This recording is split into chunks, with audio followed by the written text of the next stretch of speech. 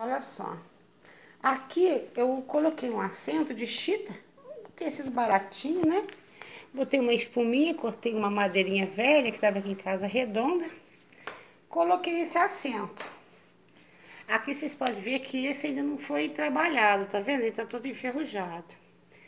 Mas o que tá lá, eu pintei. Aí a gente vai ter uma ideia, vai ficar uns puffzinhos pra me botar na minha varanda imitando couro, tá vendo? Essa barrinha aqui, ó, vai ficar preta, né? E a barrinha lá de baixo também vai ficar preta. Vai ficar mais ou menos assim. Isso é pra gente estar tá sentando, né, galera? Olha. Até que vai ficar um assentinho, tá vendo? Olha. Vai ficar um assentinho aqui. Então é isso. Vai ficar assim um pufinho né? Aqui tá os tecidinhos agora, né? Que eu vou botar.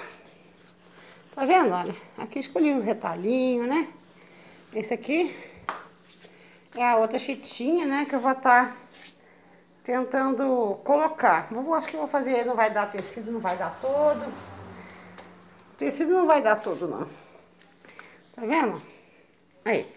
Tecido não vai dar todo. Depois eu vou escolher, talvez, se esse aqui der um redondinho, vou fazer um pretinho. Tá? Aí eu vou fazer o acentinho, vou botar na minha varanda, que é bom. Que aqui, ó, na verdade, ó, eu posso usar, tá vendo?